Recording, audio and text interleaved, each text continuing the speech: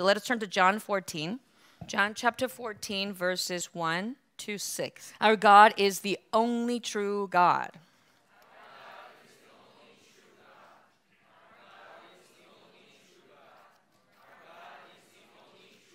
Did you not have breakfast? Yeah? Yeah, I know. Brandon, I'll give you extra bagel. But let's say it louder all together. Ready? Our God is the only true God. Our God is the only true. You know why we do this every time, three times especially? It's because Peter, even after tasting all the miracles, witnessing and experiencing all the miracles that Jesus performed, when it mattered, he said, I don't know that man. I do not know that man. He denied Jesus three times. So we don't ever want to be in, our, in that situation where we will deny Jesus. So it's to counteract that, but not only that, to really uh, uh, accept and know Him, uh, His attribute as manifested in the Bible. And that is, as John 17, 3 says, He is the only true God. Amen. Because He alone has the attributes that He has. He alone is that. And there's only one way to know him. That's what makes him the only true God. So he alone has the attributes that he has, and there's only one way. There's only one way to come to him. And what is that only way? Yeshua, as he said, I am the way. Hallelujah. So if you believe that God is the only true God, um, you are to believe that you have, uh, and you have, you are to confess that you have found the way to the only true God, the Heavenly Father. That you have found the only way, that one way, the only way to the Father's house. And again, as Yeshua, Jesus himself said, I am the way. So it's having found the way um, to Him, uh, which means to have faith in him, to believe him for who he is. And if you have found this way, then it's not something that we find and we close it and tuck it away and then put it away and put it in our mind.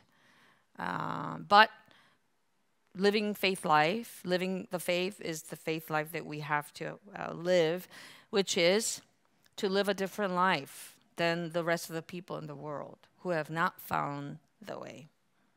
So that means, unlike the people in the world who may have many options, many roads, many ways according to their uh, philosophy, their religions, their whatever um, uh, they may be, it's to have no other option but to walk on the path, on the way that we have found until arriving in the Father's house. That's what faith life is about. That's what the only way means. Amen? Uh oh, this is a hard message. It's coming. Yes, it's coming. Because that's what Jesus said. That's what Yeshua said. I'm the way, the truth, and the life. No one can come to the Father except through me. So, through me, he is indicating himself as the way, the way. And, and that way is a definitive way to the Father's house. And that makes him the only one, in fact. Yeshua is the only man who ever walked on earth who confidently indicated that he is the way. He alone is that. That's what makes him the only true God. Um, certainly, religious founder, religion, uh, founders of religions or philosophies, uh, uh, you know, whom the world or followers today may you know, believe in and trust in and look up to, none of them uh, confidently ever said that I am the way. I am the way to, you know, everlasting life, truth, or salvation. They could have lived a life that is exemplary to the followers um, and saying, you know, this is the teaching, this is how we ought to live. And then people say, oh, so you are our leader, you are our teacher. But none of them has ever confidently indicated that they were the way, meaning there are many ways, but that way, the way, is the only way. So when you say it's the um, or the way, it's to highlight that that is above all the others. Now, the uh, concept of way um, is, you know, um, we spent uh, during the time at the retreat uh, with the theme the road to salvation can be expressed in many terms like way uh, the way or a way or a path a road. So these are um, these are uh, the conditions to uh, move you know for us to move from point a to point b. And these conditions or these um, you know, mechanisms or connecting points can be made certainly on the ground. So we have roads, many roads. The saying goes, many roads lead to Rome. Yeah, because the Romans were very good at building roads. And not only that, they um, for thousand uh, over a thousand uh, years they uh, occupied um, good part of Europe. Um, you know, south, southern, and uh, even parts of, you know, they even went all the way to Germany. So the, the, the uh, empire spread uh, and even to, part, uh, to Africa. Uh, and some parts of the Middle East. So the, all that um, was under the Roman ruling. So um, they were not only good at infrastructure, but they oh, they they uh, ruled those lands. So they built roads to connect to their uh, kingdom, uh, to allow themselves to travel. So all roads lead to uh, Rome, saying there's many, many roads. So when you, you know, fly uh, in the air, you can see so many roads uh, going everywhere. So eventually when you get on road, uh, it will lead you somewhere. Now, if you drive, uh, having a destination, um, uh, without having any, uh, without having a destination or goal, you can be driving to California, you know, if you don't know where you're going, because the road, or I don't know who else, where South America maybe, but all the roads lead to somewhere, uh, and the and they're all connected. Um, so it's critical for our travel on land, but also airways. There's something called airways. So air traffic uh, is now to maximum even. So um, you know, this is like really sensitive area because, you know, people who are in the control tower, I hear that the funding is cut, so there's less people working. If there are less people working, who's directing the traffic in the air? Uh, because the pilots don't, you know, fly just wherever they want you think they might, but they don't. There's actually airways that they follow, and they have to follow signals and, and signals from the ground and all that um, so that they don't collide each other or collide into mountains or whatever. So there uh, are airways, but also waterways too. So um, ships or cargo ships or aircraft carrier, these guys are all traveling. Yes, they're vast oceans, uh, many bodies of water, but they are expected to travel in certain paths because uh, that it's for safety and even for um, uh, you know uh, speed or efficiency. So there are many many paths and waves, uh, all these um, terrains, if you will, um, uh, these uh, levels of places. So that's one thing about way or path. and second thing about it is that um, someone had gone there first to pave the way. So um, you have this like expression pathfinder or a trailblazer, like you're thinking like car models. Ooh, trucks. Yeah, I think I know those, but you know they actually come from expression, like pathfinders. These guys are people. These guys are people who are finders of. They have paved the road. They have made the path somewhere. So. Um, that work involves um, sacrifice. So this country being really uh, a large country, uh, it's really like the size of a continent, the United States. So um, from go to go from one end to the other, coast to coast. Um, and I haven't done it on the road, but I hear that it's just amazing. It's just breathtaking because uh, you're so impressed with the highway system and just the vast land. But what we also have to take in is that somebody had gone there hundreds of years ago and sacrificed their way, uh, uh, you know, their lives in paving that road. Uh, because a lot of people did die, you know, making these roads. And just to, uh, you, I don't know if you heard, but I grew up hearing stories about the Lincoln Tunnel, like, because we used to travel there all the time. It's like how many people have died. Maybe the descend, maybe Chinese immigrants have heard, like, your ancestors came and died building these, you know, tunnels, and and they did, uh, and they did. So um, it's it required a lot of risks, but people had done it, and they went ahead and made the sacrifice, and because of that we can take advantage. We can be, uh, our lives can be convenient because of that. So the key is that someone, there was someone else who went ahead, risking life to uh, pave the road. And, and, and then another thing about uh, way or path is that uh, there uh, for us to travel from point A to B, there is a right path, while there is a wrong path. So when you go on highways and when you drive, the sign says wrong way. So if you make a turn and it says wrong way, what do you do? You don't keep driving. I was like laughing because I remember Pastor King, uh, I was listening to her tape and many years ago, and she was saying when she first came to New York, it was like decades ago, and she started driving around. And she had driver's license in Korea, but um, it's first time driving in New York, and New York, driving in New York, period, is just like very difficult and challenging. Uh, even though back then uh, it was not as there weren't as many cars or many people, but still it was uh, uh you know challenging. But she drove into Manhattan for the first time, and then uh, she thought that you you could make right turn anywhere, so she just made a right turn one of the streets, uh, and then she turned, and it was like oh empty, like it's the middle of the day, and there's like nobody there. So like, oh, this is good. I could get to my, you know, destination much earlier than I thought. And then she starts like from far, like she sees, uh, what do you think of the um, uh, mirage or the mirage? Like it, it, just from far, she sees some things happening, some things happening in the in, the, in distance, and she looked closer and closer. They were getting closer and closer at her. Well, all these cars coming her way because she was facing the wrong way. Mind you, she was in a car, not walking, but she was in a car. Her car had already turned, and then there were cars coming at her. And she said she broke into cold sweats, and she had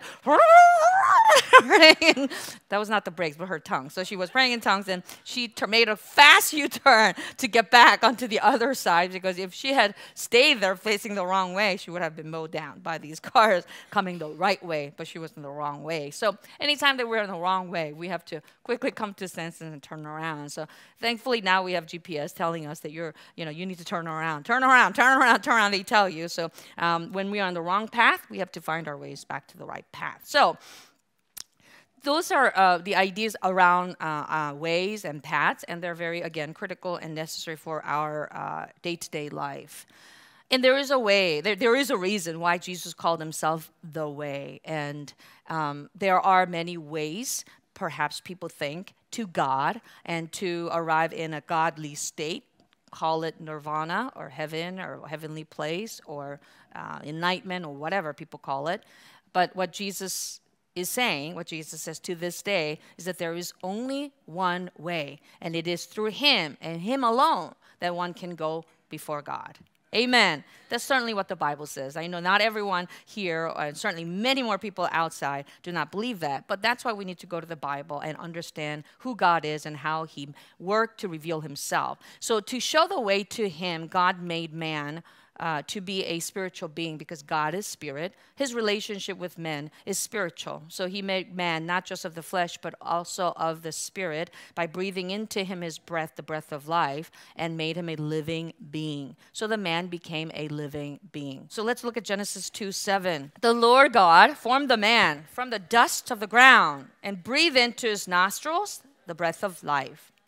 And the man became a living being. So the man became a living being, meaning of the flesh and of the spirit, dual beings. And the flesh is like man, like everyone else in the world, but spirit, uh, the living being, comes from God. So he has to go back to God. This is the way God made all men to be. So whether they know it or not, this is how we were made with this ancestor of ours. His name was Adam. So when Adam was made, which in Hebrew sounds like living being, he was made to live infinitely in the spirit, even though the flesh may live maybe 70, 80 years if lucky, maybe not, you know, so there's a limited time for the flesh. But this man, Adam, lived in the Garden of Eden, which sounds like a paradise on earth, but he was to be guided by the word of God that gave him limits to what he can do. And that was he could have everything and all things in the garden except for that one tree, the tree of the knowledge of good and evil.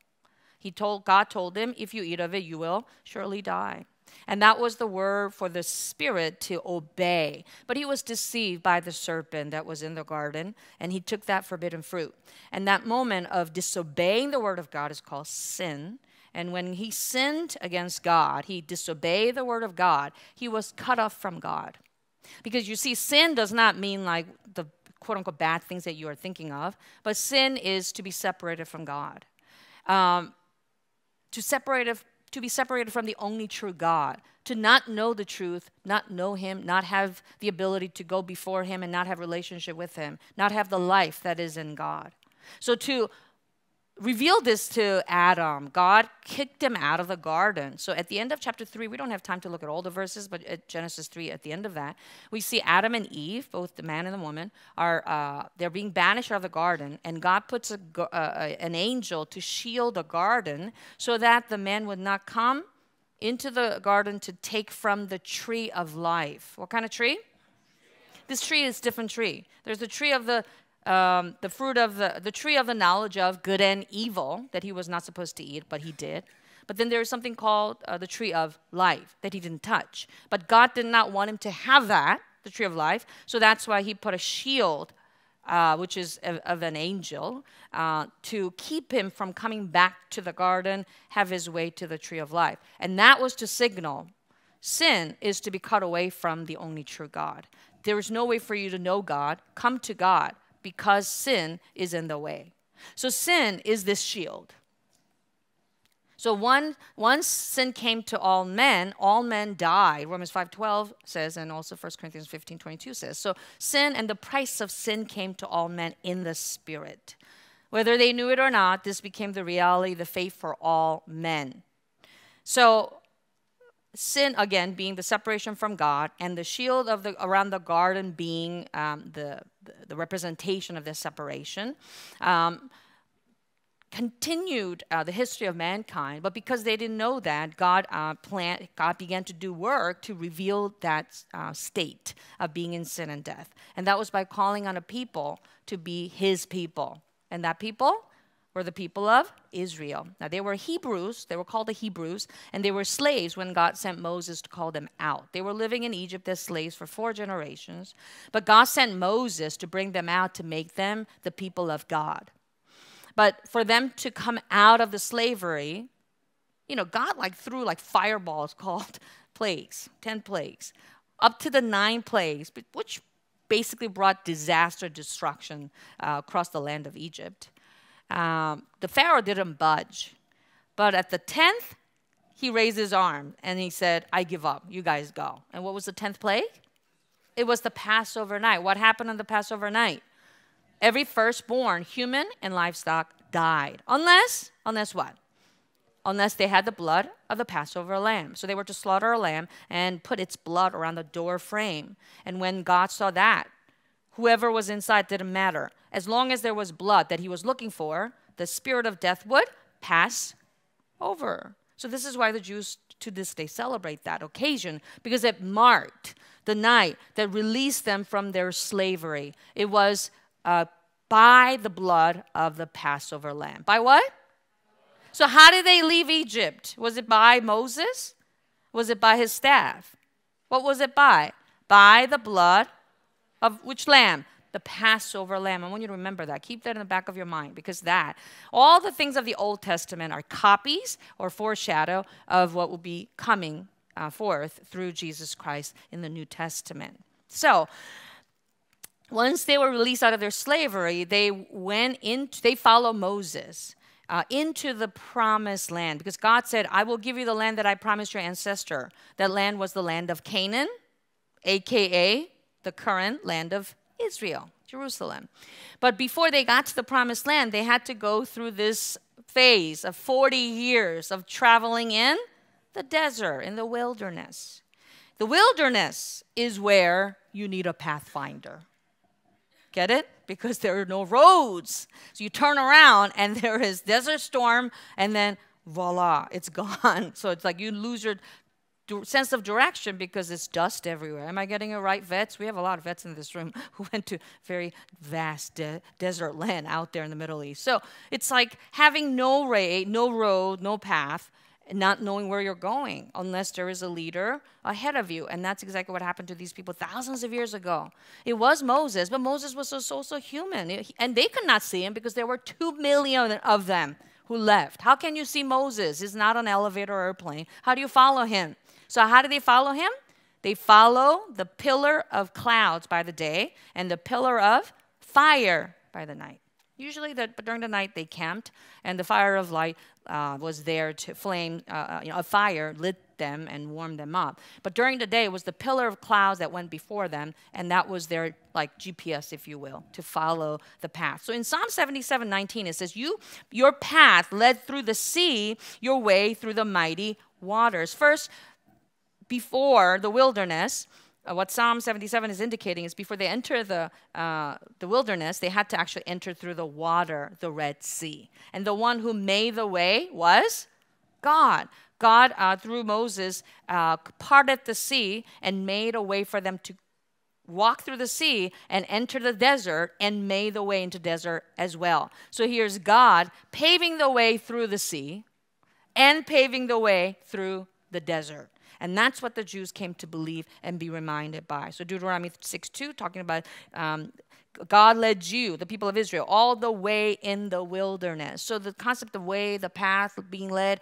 is repeated in the history of Israel because that was their history for, uh, for 40 years after the Exodus, first into the Red Sea and into the desert life. So God commanded them to build a structure to remind them of this um, journey, this history, this part of their history. What did God make, tell them to make? The sanctuary, the tabernacle. So the tabernacle was made in the desert, and it was a structure where they served God, where they came to God, like sort of like church today. For those of you who are new to that concept. So coming to church means to come to come to meet with God. So it was a physical structure, but had spiritual meaning, which was that they were coming to meet with God. But it was not all of the people of Israel coming in whenever they wanted.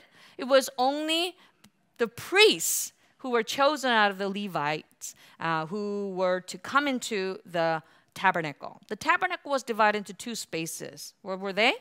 The holy place, which was the first outer room, and then after that, uh, in, in it there was a curtain. So there were there, it was a tent, and then when they go through the first tent, the first room, the outer room was called the holy place.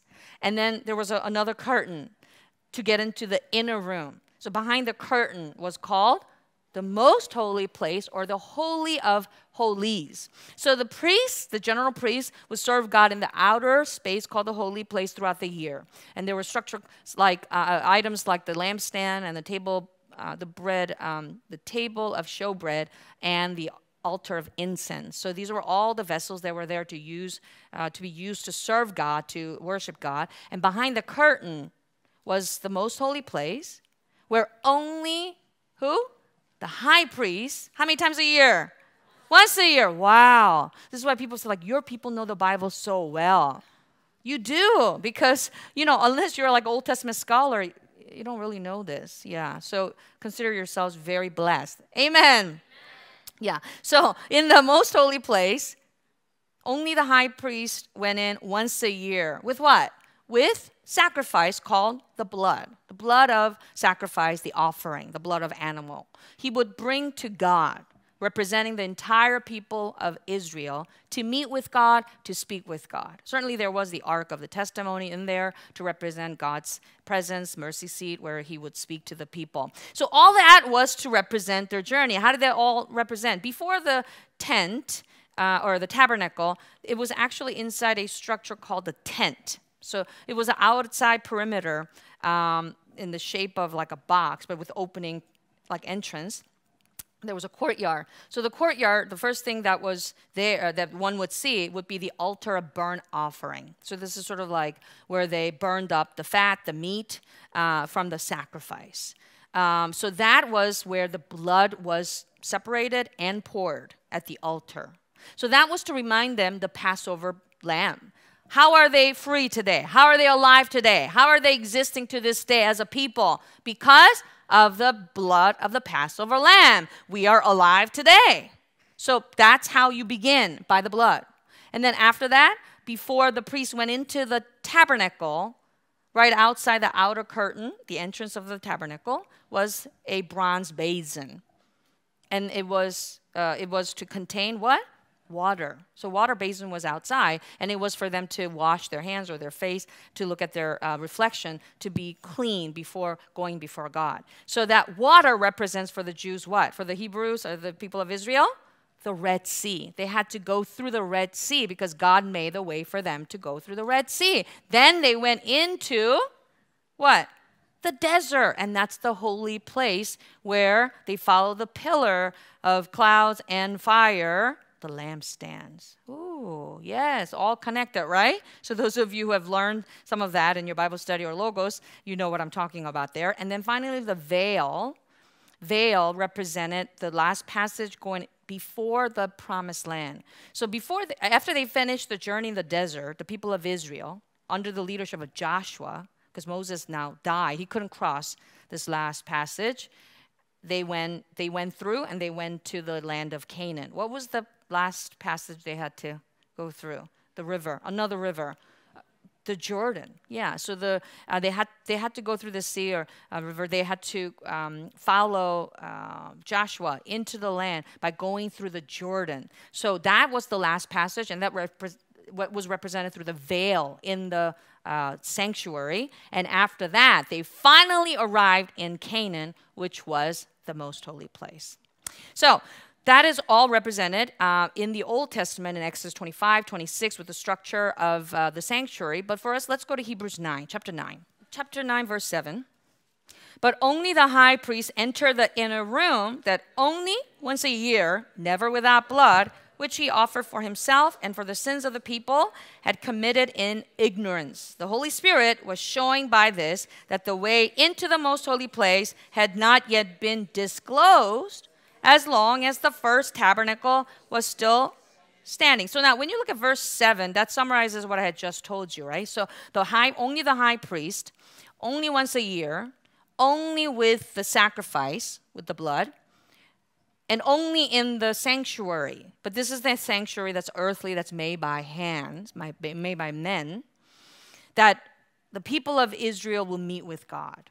So none of the individual Israelite met with God. It was only the, whole, uh, the high priest representing them meeting with God. And when God accepted the sacrifice, and the high priest uh, spoke with God and lived and came back out and said, the Lord forgives you. You are forgiven. Your sins are atoned for. God bless you. Then the whole people waiting outside the tabernacle said, Hallelujah. Now we don't have to worry about the price of sin. We don't have to worry about curse or death. He has received our worship. He's going to bless us, and we can live the coming year by his blessing, right? By his grace. So this is how they understood to serve God, to go before God, to have relationship with God. The only way for them was in this structure the earthly sanctuary, the earthly tabernacle. So only in the physical tabernacle that God designated.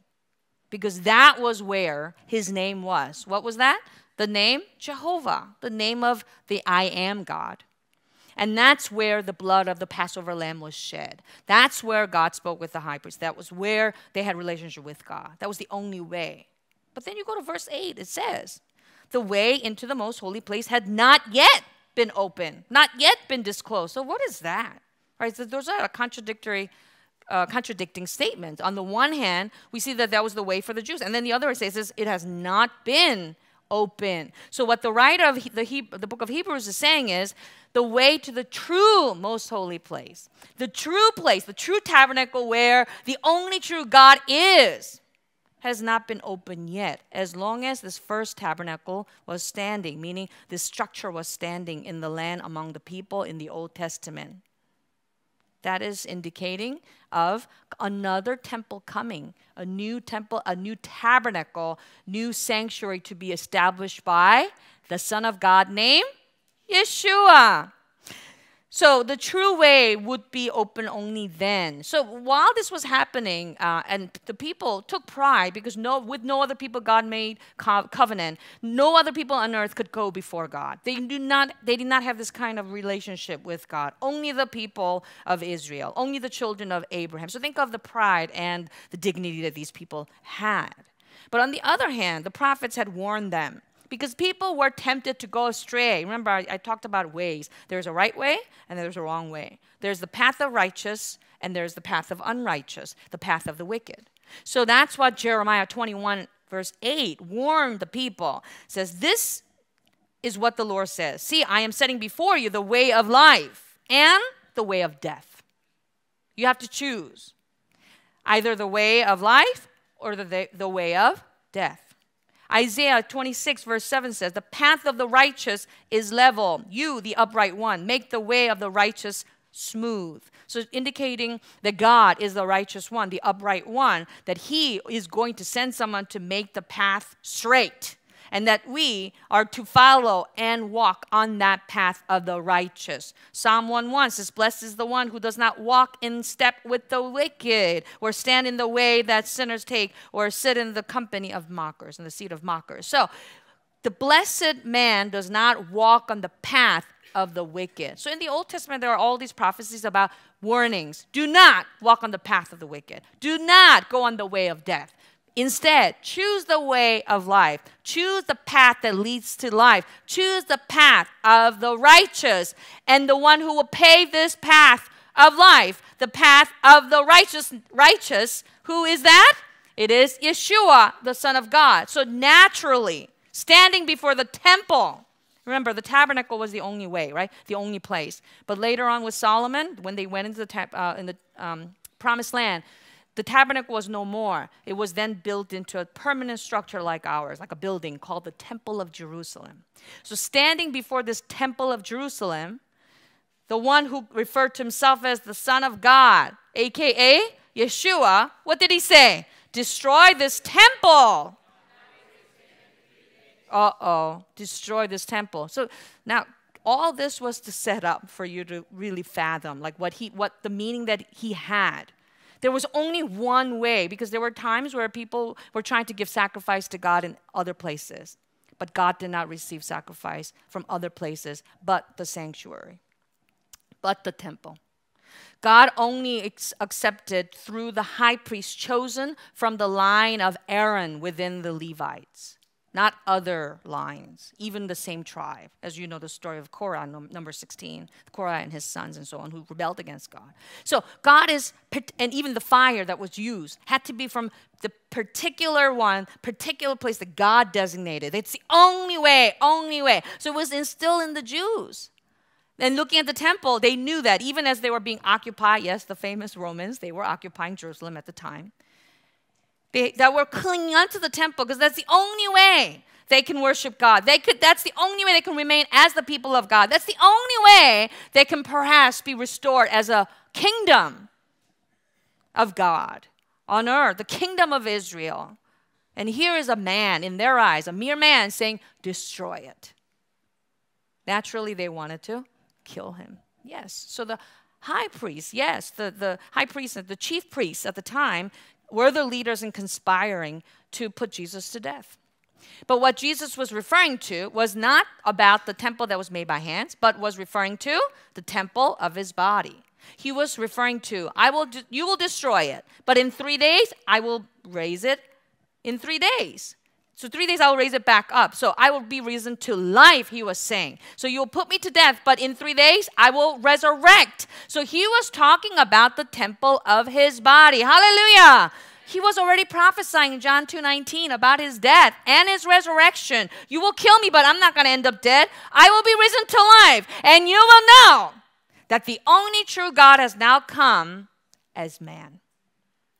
Hallelujah. The one who was with God in the beginning as the Word, to manifest Himself, manifest God, to manifest His attributes in, the, in the, a bodily form. Jesus had come, the Word has become flesh. And He was going to reveal that through His death and His resurrection. So, through that, He was going to now make a way Make a way to the only true God. That none of the high priest or the priest or the tabernacle or the animal sacrifice could do. But that he would become the way to the only true God. So when Jesus came, I do want to clarify that it wasn't the entire God who became man. It was the part of God who was planned to be manifested as man. The Word, John 1 1, who was with God in the beginning, became flesh, became man so that men may know and come to the only true God, that he would become the way, the only way to him. So, not the way to the most holy place in the temple, not the way to the land of Canaan, but the way to heaven, the Father's house. Hallelujah! Until then, they could not fathom a pathfinder to heaven. They could not. The closest they could get to was the temple because that was the place of God. That's where his name was, and that's where blood was shed, that's where God spoke, that's where God blessed. And that's as close as they could get imagining imagining how the close they can get to God. But here is Yeshua the son of God coming and saying, "I'm going to make a way to heaven, the Father's house. I will become the way, I will make the way, open the way for you." So that's what Hebrews 9. Let's go back to Hebrews 9. Verse 11 and verse 24. Chapter 9, verse 11. But when Christ came as high priest of the good things that are now already here, he went through the greater and more perfect tabernacle that is not made with human hands, that is to say, is not a part of this creation. So here is saying it's comparison, contrast to the human high priest that went through the veil on earth to the most holy place on the earthly sanctuary. But what the writer here is saying is, no, that's not where Christ went through. Christ went through a better, more perfect tabernacle, a greater tabernacle. What are we talking about? That is not of part of this creation. Where? That is the one in heaven, that he will make a way through his body, that is the temple, and make a way for himself to first enter and make a way for all men to follow him. Amen. Verse 24 For Christ did not enter a sanctuary made with human hands that was only a copy of the true one. He entered heaven itself now to appear for us in God's presence. Hallelujah. Now, do you understand? I know it's a lot of uh, Old Testament based today, but nevertheless, it's important. I know it's difficult, and a lot of you are going like, "Oh, this is way too much." like, slow down.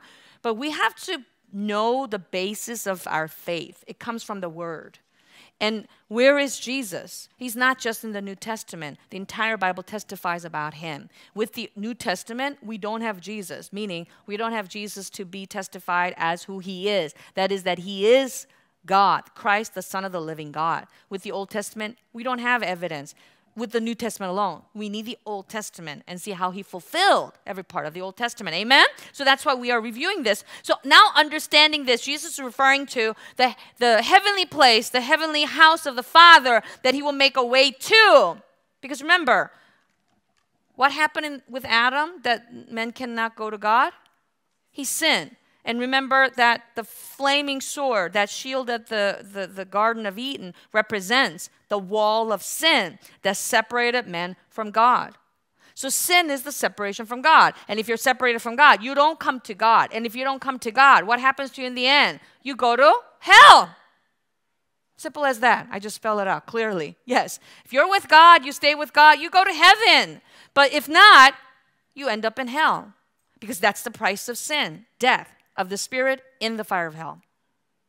But Jesus came, God, who was planned to be manifested from the beginning as the Word, He was there with God. Now finally came to lay down His life to become the way to the Father. That's why He said, I am the way, the truth, and the life. No one comes to the Father except through me. And that was going to be completed through His death and His death alone. That's why, even after raising the dead, multiplying food, performing miracles, calming the sea, driving out demons, when it came to his own arrest and death, he did not perform any miracles. It was not because he became helpless, he ran out of power or courage, but it was according to the command of the Father, John 10, 17, 18. So this was command he received from the Father to lay down his life willingly. Only then he will fulfill, finish his race. So when he died on the cross, what did he say? He said, What did he say? It is finished. You know when the Olympic Games finish? With the marathon. Right? Like the finishing, the punctuation, the end of the race. There are many, many multiple games going on at the same time, but the, the jewel crown, this is the marathon. They'll put the end to the race. All races end with that, with that race. So the race, the path, the way for Yeshua, the Son of God, was to the cross. So God who was in the beginning, through whom through him, through whom all things were made, became man, came as man. The word became flesh. John 1:14 says, "The word became flesh and dwell among us." The word became flesh. God became flesh. God became man. God was born a baby, laid in a manger, a cradle. So from the cradle, he went to the cross. His path was already determined when the Word was in the beginning. His path, his way was already determined when the Word was with God in the beginning. So when the Word was there and God said, I'm going to reveal myself as the Word, this is the way I'm going to reveal myself because there's no other way to know me but through the Word except through the Word. And there's no other way to come to me except through the Word. And the Word that became flesh, the incarnate Word, is Yeshua, the Son of God. And the way he was going to also finish his path of revealing the Father was at the cross. From the cradle to the cross in his death. The path was determined, and he walked on it to the end. So we tend to think like for 30 years he lived an ordinary man, for three years he lived his public life as, as, as Christ, and then he finally died. And his suffering must have been like, you know, the night he was arrested, he was beaten and spat on and punched, and then finally, you know, punctured and whipped and crucified. It was not just those hours that he suffered. And, and I'm not to take away from the suffering of the crucifixion, but the word coming as man and being born as man is the lowest point that God became. It's the lowest, the most humble form, form that God could ever imagine to become. He did. And that was the way for him to return to the Father, fulfill the Father's will to reveal that the Father alone is the only true God. Even though Yeshua, Jesus himself, is God, he humbled himself and became nothing to the point of death on a cross. And the cross was the finish line for his path, his way, his life. Hallelujah.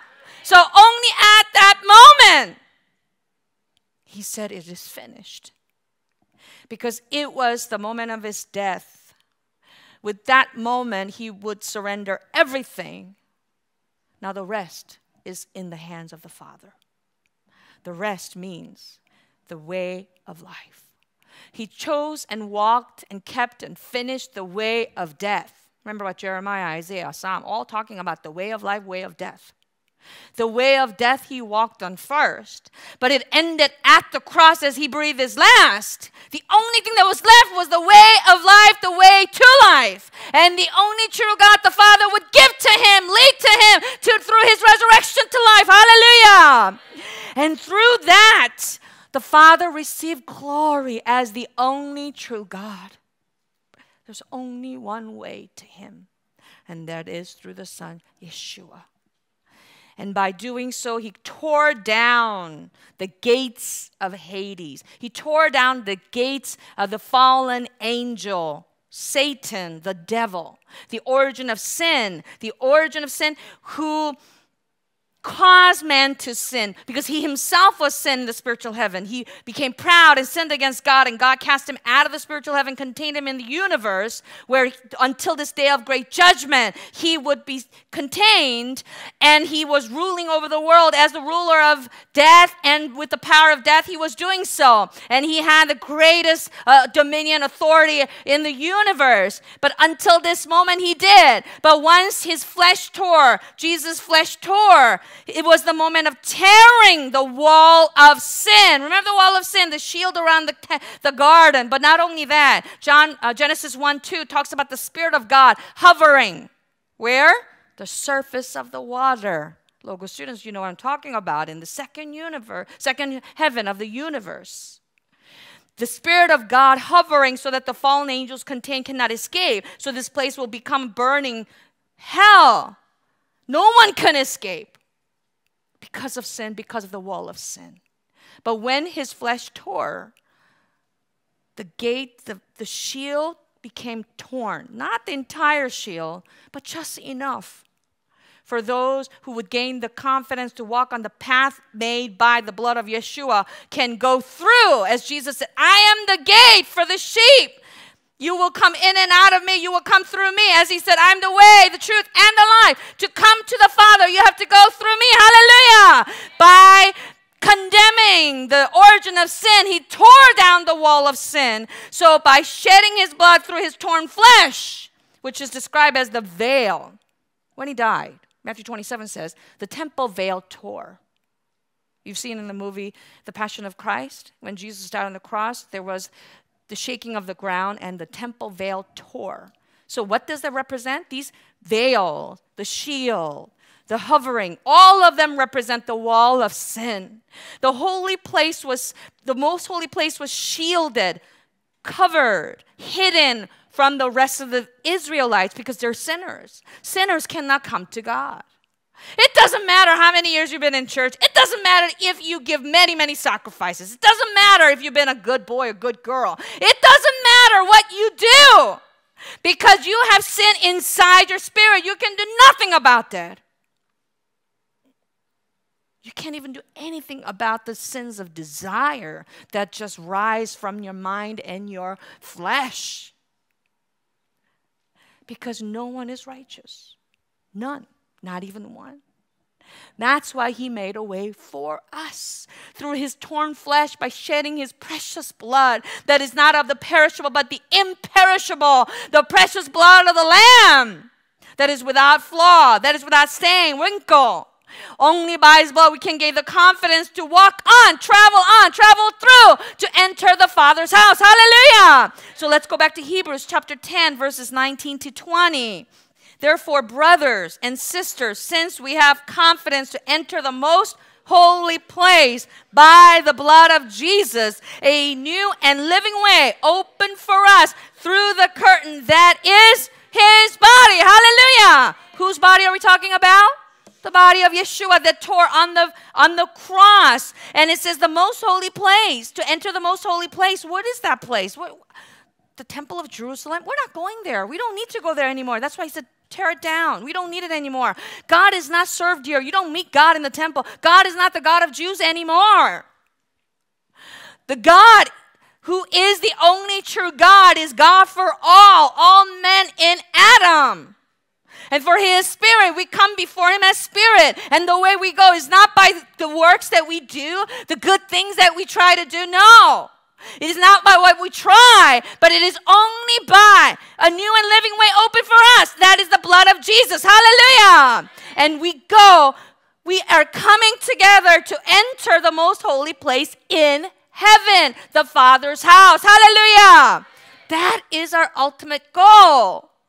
But for us to get there, Jesus himself finished his way at the cross and breathed his last. And he died. But the way of life was open for him. The Father, in three days, raised him back up to life. And Yeshua resurrected. Hallelujah! From heaven to earth, from earth to the cross, from cross to the grave, from grave to life, and finally he ascended to heaven. Hallelujah! And that is where he is seated to this day and forever. He is seated on the throne as the King of Kings, the risen Lord. And we serve him today as we gather together in his name as members of his body until we arrive in the Father's house. Hallelujah. It is from there the Holy Spirit came in the name Yeshua. Jesus in English, Yeshua in Aramaic and Hebrew, which means he will save his people from their sin. So whosoever calls on his name will be saved. Call upon his name and you'll be saved. Receive his name. Believe in his name to be the name of God, the name of the Savior and you will receive the right to become his children. Say amen if you have become a child of God. Do you believe you have a Father in heaven? And his name is Yeshua. And the Holy Spirit comes to souls as such as ours. and testifies in us that Yeshua alone is the way. Amen? Yeshua is alone. He alone is the way because he alone knew where he was going. He alone knew where he came from and he alone knew where he was going. But what do you mean about that? I know where I'm going. Yeah, you know how to go home, you know how to get to work, you know how to come to church, you know the ways on the road, you know the ways maybe of your life, but even that you don't quite know.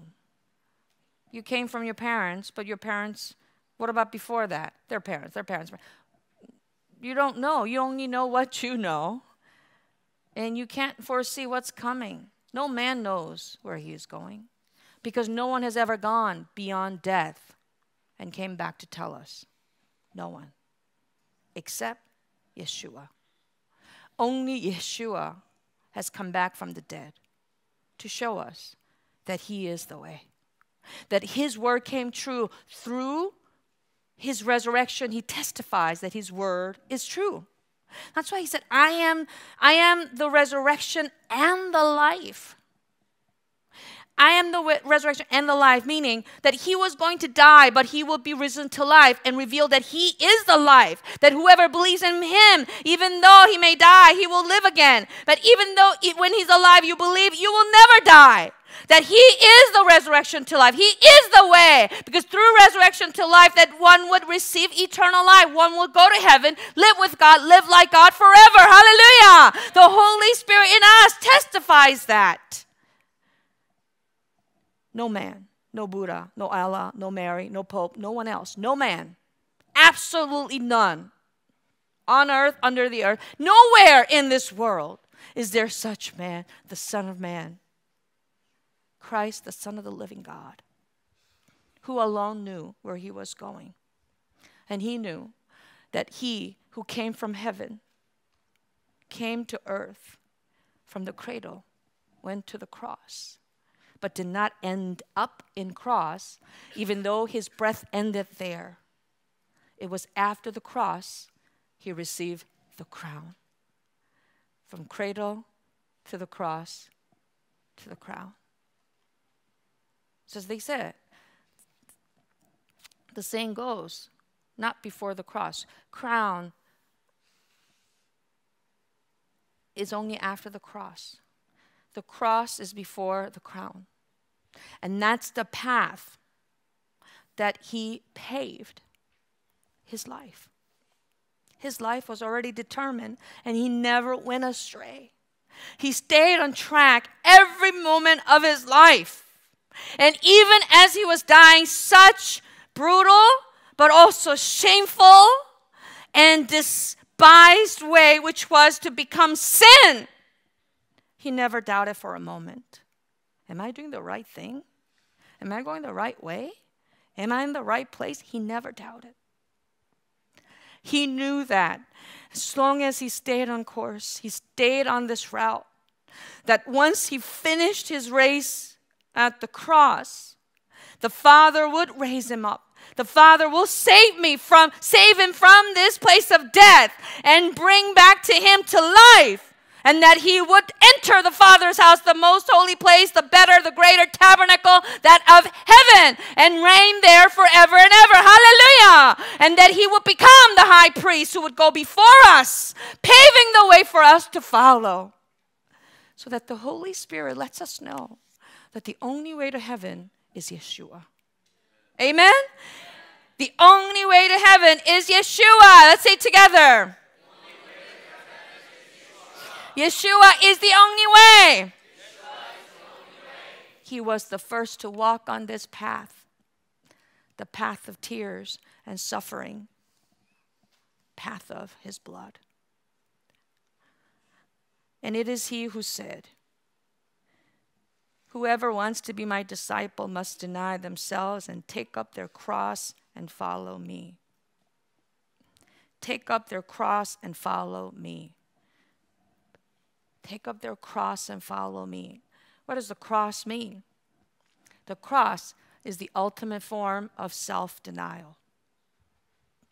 The cross is the ultimate form of self denial. We're not making a cross to hang there. We're not trying to beat our bodies for the sake of religiosity or self purification, but to take up our crosses and follow our cross and follow him to, is to deny ourselves. While we're in the flesh, we are struggling against our flesh. Our warfare is against the desires of the flesh. We are fighting against evil spirits, demons, diseases, perhaps opposing powers or influences. But the ultimate fight is against ourselves. It is our bodies that crave to do things that the world loves to do, to seek the pleasures of the flesh. That's what the flesh wants to do. The flesh wants to, to sleep, to stay asleep, to be lazy, to do whatever it wants to do, to touch things, to eat things, to do things, to see things, to have things, to enjoy a, a life of easiness and, and safety and security and comfort. That's what the flesh wants to do. But Yeshua said, Who want, Whoever wants to be my disciple must deny themselves, say no to the world, and say yes to the cross. In that sense, entering the Father's house is not for all, it seems. Even though on the one hand John 3:16 says whosoever believes in him will not perish but have eternal life, it's easy. It seems easy. But when he says, Whoever wants to be my disciple, what is a disciple? A disciple is he who follows and lives the life of his teacher, his leader. Who is our teacher? Who is our leader? It is Yeshua, our Savior, our Lord, our King, our pathfinder, our trailblazer. He is our pioneer who paved the road, who lay the way to the Father's house in his blood. And the cross was his way.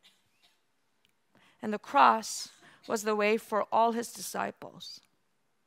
All his disciples, all but one, who denied him, who betrayed him, took his own life, and became a son of destruction to go to hell. But the rest all followed his path to the cross. They all died, following the footsteps of their teacher, their leader, their king, Yeshua. Because they believed that when they followed him, they would not end up dead, but that the way of life was waiting for them after the way of death the crown. The people of Israel began their journey by starting with the blood of the Lamb, went to the Red Sea because the Lord provided them path to walk the sea as if they were walking on dry land. And they entered a desert, pathless way, roadless place because the, the Lord was with them and made path there even. And they went through the Jordan and finally entered the promised land. And that was only a shadow of what Jesus, Yeshua himself, will go through. He himself came to the world and was born a baby, came as man, laid in a cradle, in a manger. And he, wa- he was baptized. After he was baptized, he lived a life of suffering and ultimately finishing his way of death, the way to death at the cross. But after the cross, it was the Father who led him to the way of life by crowning him the crown of glory, the crown of life through his resurrection. And because of which he was lifted up high to the heavenly place and is seated on the throne to this day and forevermore. And today, the true Christian, therefore, like Peter and Paul, who willingly chose to follow Christ. And when they chose, there was no other option but to follow him in his path to the cross. Now, some of you, and there are many young people here too, what do you mean the cross? I'm too young to carry a cross. The cross is denying yourself, as I said. As the Bible, as the word tells us, do not love the world. You cannot love the world and keep walking this path. You cannot keep being the self the way you are and then expect to go to the Father's house. You have to put yourself to death. We began by baptism, which was to bury our old self. Our old self that was doomed to death because of sin we inherited, because of sin we, we committed in the past. We bury, we die with Christ. To be risen to life with Him as, as we came out of the water. That until then, I have to continue my journey on the journey that He went ahead of me. It's already spelled out, it's already mapped out where I'm supposed to walk and that's to never stray from it and never regret my choice. Never looking back, never going back. But to say, I have decided to follow you. No turning back, no looking back. And for me to get to the Father's house, to being crowned and enthroned around Him, next to Him. I have to live a life of denying myself of the things that my flesh wants to do. The flesh wants to have an easy life, easier life, more comfortable life, more secure life. But the way of the cross is to say no to that obeying the word of God today in this life, in my life, is difficult. To say no to the world and your worldly friends and come to church, it's difficult. To stay in the church of Jesus and keep up with all the demands, you have to do dedication. You got to come to practice. You got to go pray. You got to evangelize. You got to pre- you got to give offering. You got to do this and this and this and that. Yes, it is hard. Because this is to say no to my old life. But can I just go both ways? There is no both ways. There is no both way. There's only one way. And Jesus has shown us. You see, the cross is not a symbol or a thing we wear on our necklace or on our necks or even tattoo on our bodies and feel good about it. And that it's like, I'm a Christian, or somehow it's going to bring you good luck, or somehow God's going to give you some kind of pointer because you're wearing a cross around your neck. The cross is the way of life. And we repent because we're not denying ourselves enough, that we have failed to carry the cross. It is to say no to the world, to say no to the lust of the flesh, the lust of the eyes, and pride of life. It is to say no to my old plans and my old ambitions. But this was my plan. I'm supposed to do this and this and this and that. And when I secure everything and ready everything, then I will follow you. What did Jesus say? Let the dead bury their own dead, but you go proclaim the kingdom of God. In fact, those people who said, Let me go and do business and let me prepare and then I'll come back follow you, Jesus said, Okay, go. Don't follow me. You're not worthy of me. You're not worthy of me.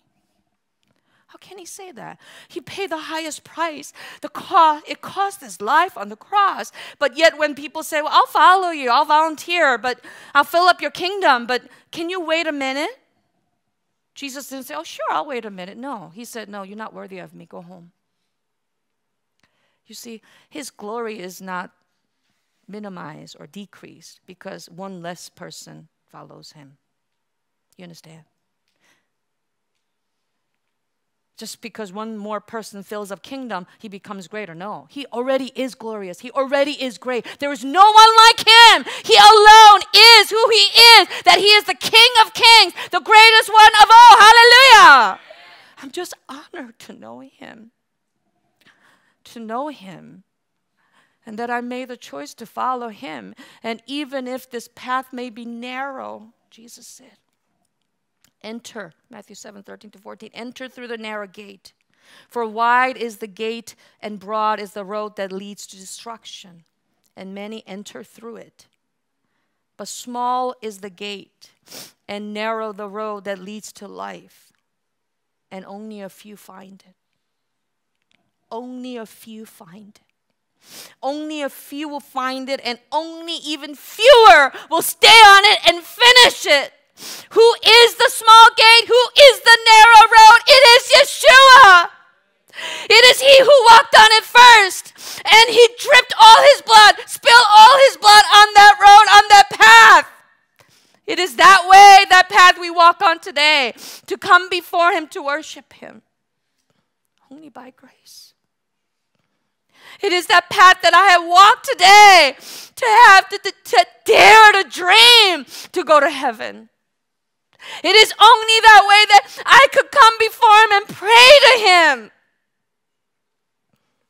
Therefore, it's the only way for me to stay walking and following until my finish line. That is the cross, my death, or His return. But I have to ultimately arrive at this death so that the only thing that is waiting for me after that is the way to life in the Father's house. I want us to all think about what is that I have to say no to. In fact, there are so many things we have to say no to. Self denial. This is why the Holy Spirit helps us. This is why we cling unto prayer. We start each day in prayer, desperately seeking His help. Help me this day to deny myself and carry my cross to follow you. That I do it willingly, I do it joyfully, and I do not look any other way, go astray, but I stay on track until I arrive in the Father's house where I will finally see you face to face. Hallelujah. Let's pray. Who are Christians? Christians are those who confess that they were once lost, but now they have been found once blind, but now they see. But it is not to say, Thank you. Let me go on living my dream. Let me go on and pursue my success, prosperity, wealth, and happiness in the world. But once knowing that he has been found, the Christian now stays following the Lord until receiving that salvation in the Father's house, that eternal life. Until then, we are to press on, press on, and not look back. Oh Lord, give me the strength. Give me the strength to go on and this determination to say no to the world, no to the desires of my flesh, the, the lust of the eye and pride of life, but to say yes to the cross and finish this path. Yeshua!